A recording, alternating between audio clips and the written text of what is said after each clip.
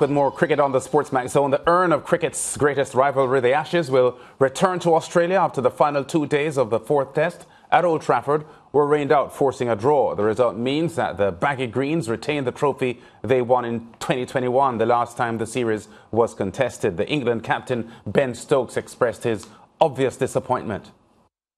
Tough one to take, um, you know, being playing the cricket that we managed to play over the, the first three days, and um, you know to to get on the wrong side of the weather, it's, it's a tough one, but um, yeah, I guess it's all part of the journey. Uh, no, I, I, think coming into this game, obviously knowing what we needed to do and the task that we had at hand, um, sort of played into our hands a little bit. It was again another do or day, do or.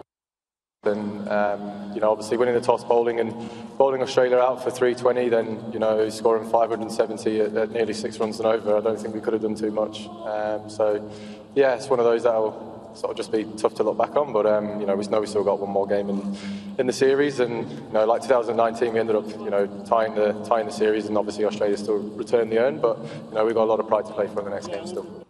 Meanwhile, the Australia captain Pat Cummins says his team will be heading to the Oval in search of an outright win. We tried a few different plans that didn't come, didn't um, you know, come off this time.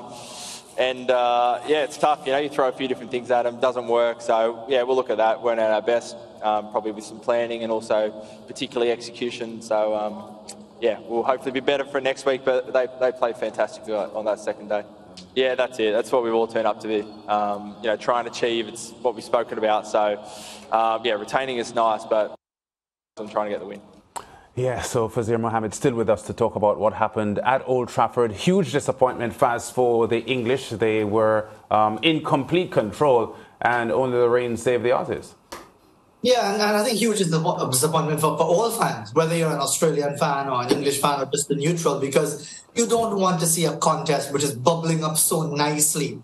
Basically, the gas is turned off because of rain and, and ran rain for, for, for most of the last two days because I, I think England, mindful of the weather, really chased down the game. And they chased down the game in a manner that, that left Australia looking shell shocked. And we talked about that last week. They looked almost clueless as the runs were flowing on day two. And, and then when they picked up those four wickets near the end of day three, it really set things up beautifully. And, and, and again, it, because there's so much focus on this series known as the Ashes, and because it was bubbling up to a potentially historic situation of England coming back from 2 0 down to win 3 2 for only the second time in the entire history of Test cricket, it, it really is a big letdown for Rain to ruin it like this. Yeah, and Faz, what could the Aussies do? Because this fourth, this fifth and final test starts Thursday at uh, the Oval. Uh, that's just a couple of days from now. And um, based on the considerable momentum that England goes into this game with, they will be considered huge favourites to win the match and uh, tie the series at 2 2, even though they've lost the Ashes. But what, what could the Aussies do to, to stem them off? Because, um, you know, things look all England at the moment. It does. But in, in a way, Lance, this is almost the test match equivalent of a free hit. Because even if Australia lose is going to be too old and they return home with the ashes anyway. So, given the fact that they've tried to counter England's style with their own style of being uh, really phlegmatic and being very determined and very deliberate in many ways, and it worked for the first couple of test matches, whether it worked because of their excellence or England's recklessness is a discussion that is continuing because uh, Geoffrey Boycott, the former England opening batsman, writing in the Telegraph today, says that England lost the Ashes because of their own hubris, being preoccupied with themselves and all of that, and the, the cricket that they played in the first two test matches. And that discussion is going to continue.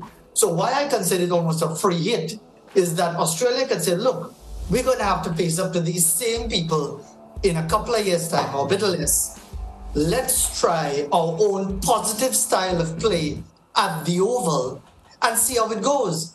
Because uh, as I said, if you lose, it's a drawn series. If you win, it's 3 1. And either way, you've learned something about your own game as to whether or not you can match the English at their own style.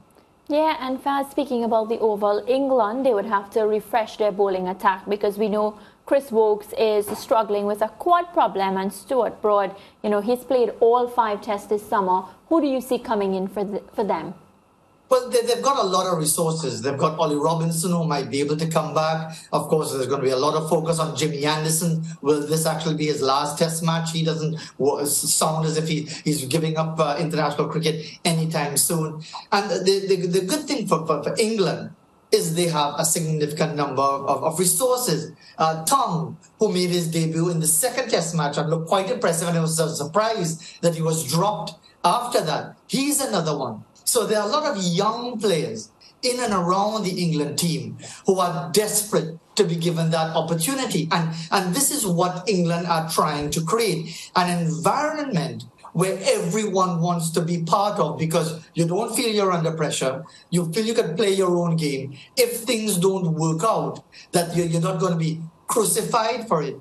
And in an environment like that, you want to be part of that. So I don't see England struggling to get replacements for whoever might be injured, whoever might be nursing an injury. Ollie Pope at the top of the order, the vice captain, uh, he's had some problems. He's missed the action. It didn't make a difference with the way England were going in this fourth test match. So I don't see those injury setbacks, Woakes or anyone else, as a major hindrance to England. Yeah, and just before you go, Faz, um, a quick comment on the massive crowds watching this Ashes series. Uh, we know there's been a lot of talk about dying Test cricket globally, and I know that what we saw isn't representative of global Test cricket because you have um, extensively discussed how unbalanced um, the, the, the, the, setup of Test cricket is based on the, the tour structure and even the, the, the length of the Test series. But it, it was massive, wasn't it, to see so many people watching Test cricket in England?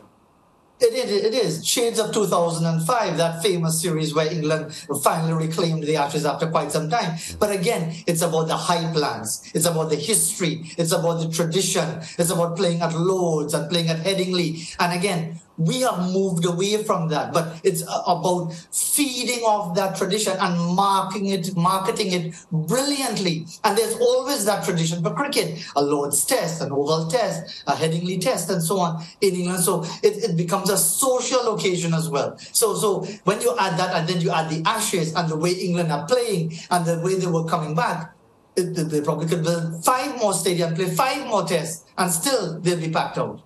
Mm. All right, Faz, we're going to leave it there. Always a pleasure talking to you, brother. And um, uh, continue having your cup of tea in the afternoon. And we'll talk again soon, I'm sure. Indeed. I look forward to my afternoon tea.